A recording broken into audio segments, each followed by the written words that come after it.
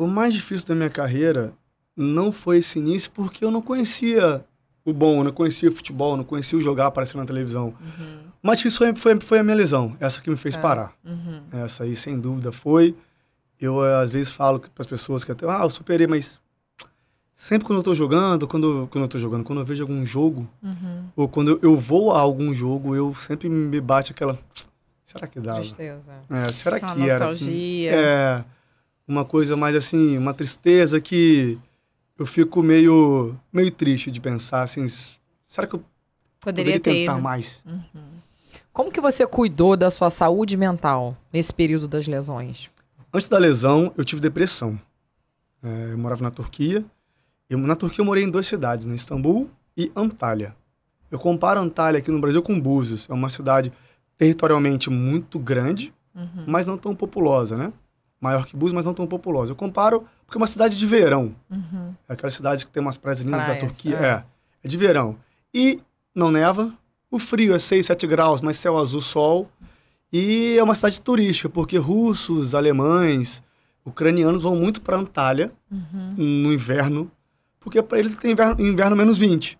Eles estão com 6, 10, 12 É. graus, eles estão na piscina. Ai, é então eles delícia. pegam essa. é, então é uma cidade muito. Tanto no inverno fica cheia, quanto no verão fica muito mais cheia ainda, né? Porque na Turquia é Rio de Janeiro, 40 graus, 38, É, assim. É muito quente.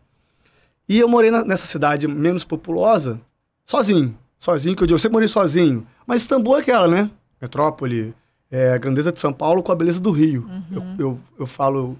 Eu falo Até das mulheres isso. bonitas do Rio? Não, aqui não? tem muito mais, aqui tem muito mais. Aí eu defendo meu país com tudo. Mas também é uma cidade muito boa de se morar. É, Antalya já é mais pacata. E Turco tem uma cultura de janta seis e meia, sete. Ou seja, nove, nove e meia não tem ninguém na rua. E lá eu tinha um ajudante, ele era meu motorista, mas a última coisa que ele era era motorista, ele era meu amigo, meu Teu parceiro, meu companheiro. companheiro, meu, ele era meu tudo. E a gente ia jantar sempre oito e meia, nove. Cara, assim, chegava no restaurante, só tinha eu e ele. Eu mais uma mesa. E aí, minha filha crescendo, eh, hoje a minha, a minha esposa estava na faculdade, eu era namorado. Ela, obviamente, jamais tiraria ela da faculdade e jamais a família dela também deixaria. Eh, eu sozinho foi batendo aquela coisa de, por exemplo, será que eu tô perdendo tempo aqui? Não tô vendo minha filha crescer. Eh, esse relacionamento que eu aposto que vai ser o meu, o meu relacionamento, o- a mulher da minha vida, tá lá sozinha. Será que tá valendo a pena eu estar aqui Uhum. e longe disso tudo? Cara, e eu fui começando a dar um tilt. Até que eu me peguei, é, isso eu já falei, tá, em entrevistas, Uhum. indo pro treino com o som desligado do carro, eu dispensei meu motorista, dava 30 minutos da minha casa, é, com o som desligado, eu querendo bater o carro, não para tirar a minha vida, mas sim para eu ter uma desculpa e me machucar para vir pro Brasil. Caramba. É. E aí, Difícil. difícil. Eu, obviamente, não falei com ninguém, não falava com ninguém, eu emagreci muito. Meu peso de jogo na época era 73. Mas todo clube tem psicólogo pra isso. né? Sim, mas imagina fora. Eu não, eu não, eu não aprendi Ah. turco. Uma, uma coisa que eu me arrependo, eu não aprendi turco. E nessa cidade de Antalya nem todo mundo falava inglês. E qual era o nome do time? Chamava Lá? Antalya Sport. Ah, É. O de Istambul era Besiktas. É um time muito grande lá. Beşi- Beşiktaş. Besiktas. Beşiktaş. Tem um S com cedilha. Tem som de sh. E esse segundo chama Antalya. Uhum. É, e é mais pacato, é um interior, né? E nem todo mundo falava inglês. E isso também me quebrou. Eu tinha três, quatro brasileiros, porém todos com suas famílias, casados. E, cara, e é normal, né? Você dá prioridade à sua família. Uhum. Eu fiquei um pouco sozinho. E ali eu Deu um start. me deu um tinha- start. É. E eu tive uma crise de pânico um dia à noite. É, meu personal morava, eu tinha um personal que morava comigo também. Uhum. É, eu tava meio que trocando o dia pela noite. Não comia direito, o pessoal do clube notou que eu tava, caraca, Ramon, você tá emagrecendo demais, você tá treinando muito. Porque eu sempre fui muito do treino. Uhum. Pô, calma, você vai, pô, você vai se machucar, vai perder músculo, não sei o quê. Eu falei, não, cara, eu tô bem, eu tô bem. E não tava. Chegava no clube de manhã pra tomar café, eu tomava café correndo, cada um tinha seu quarto, subia pra dormir até a hora do treino. Dormia uma hora e meia, treinava, voltava pra casa, dormia o dia inteiro, acordava seis, sete, treinava em casa à noite e virava à noite. Tive uma crise de pânico numa dessas noites Uhum. aquela coisa absurda, pensei que ia morrer, o coração disparou, mão e pé dormente, é, corpo tremendo. Eu falei, pô, tô morrendo, vou pro hospital. Aí, acordei, meu, liguei pro motor- meu motorista, ele foi lá pra casa, foi, foi pro hospital correndo, chegou lá, nada. Todos os exames sem nada. Uhum. E aí o Tu médico, descobriu que era emocional. o capitão do time era brasileiro. E aí, nisso que aconteceu tudo, ligaram pra ele, ele foi pro hospital correndo também. Uhum.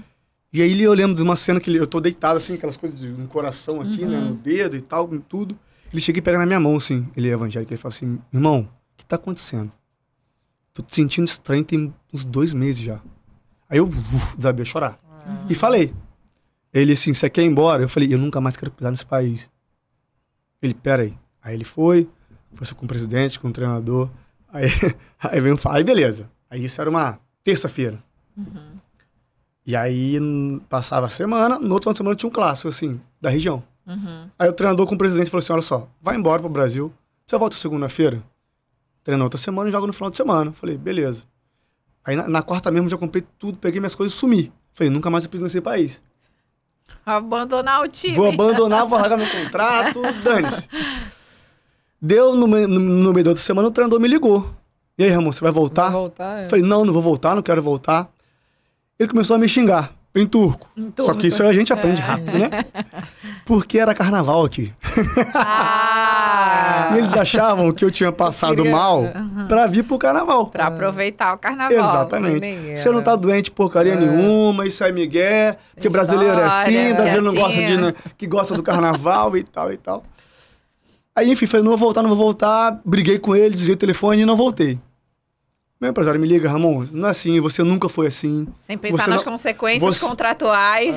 Você que é advogado sabe muito bem. Cara, eles não vão te liberar. Se você fizer isso, você vai ter que parar de jogar bola. Você tem 27 anos de idade. Você é muito novo, cara. Você, é uma- você tem mais 10 anos de carreira aí, tranquilamente.